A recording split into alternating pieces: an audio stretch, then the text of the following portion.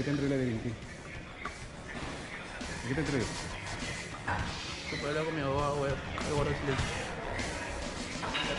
¿Lo has cometido fraude informático? Con todo respeto, lo hago con mi abogado, silencio. Pide respeto porque jura ser inocente. Sin embargo, para los detectives de la Dirincri, este robusto sujeto de 23 años sería integrante de una banda criminal de alcance internacional, denominada los Droopers de San Martín, dedicados al fraude informático. Tu nombre completo. Gutiérrez Toledo, José Augusto, Tu edad. 23 años, ¿Dónde vive? San Martín de Porres, ¿Por qué te han intervenido en la división de alta tecnología? Analista informática. ¿Y eres culpable de eso?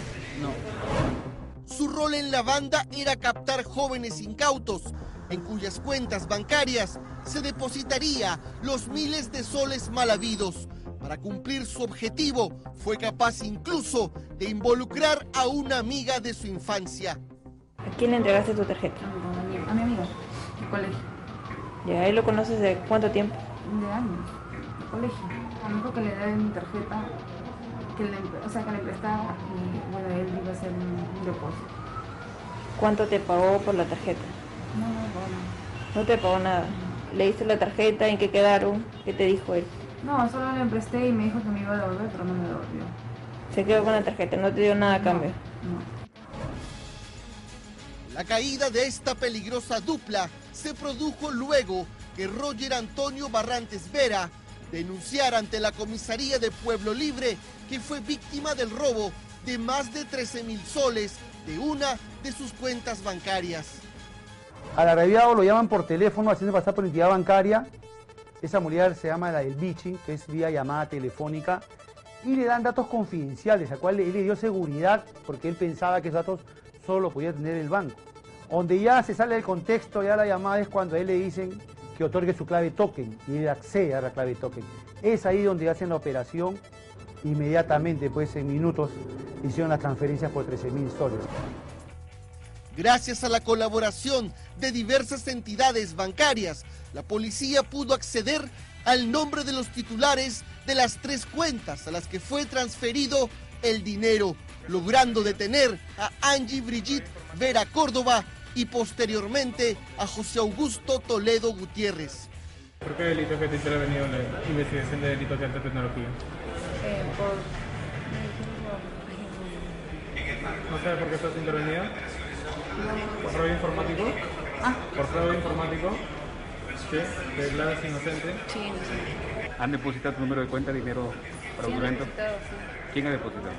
No, la verdad que no sé quién es. La chica intervenía, 23 años, no tiene, no tiene, no trabaja, ama y casa.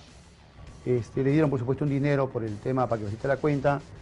El captador, José Toledo, indica pues de que un venezolano lo abordó y que dijo que consiguiera cuenta de oro, por supuesto que no es gratis, iba con, un- una- con un tipo de beneficio económico.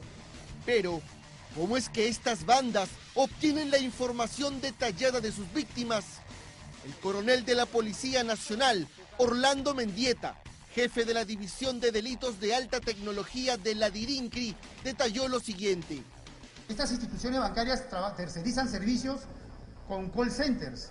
Por supuesto que tienen que manejar con base de datos, porque te ofrecen, creo que nos ha llamado un momento, a darte algún tipo de, de promoción, algún tipo de regalía, algún tipo de exoneración de pago. Entonces, de alguna manera, este, obtienen la base de datos de las entidades bancarias. Hemos capturado el año pasado a dos trabajadores de call center que efectivamente, después de las investigaciones, ellos aceptaron de que habían trabajado y en forma ilícita habían obtenido base de datos de clientes de bancos.